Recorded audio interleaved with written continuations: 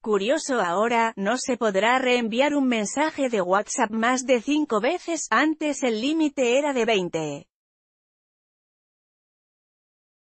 Los motivos de esta medida son para combatir los engaños y el spam.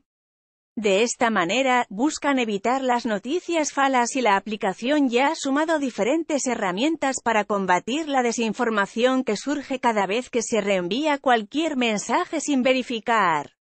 Mira. Más, Facebook pone límites a los encuentros sexuales, e incluso prohíbe frases en el chat en la última actualización de WhatsApp para Android ya se implementó y en breve lo hará iPhone.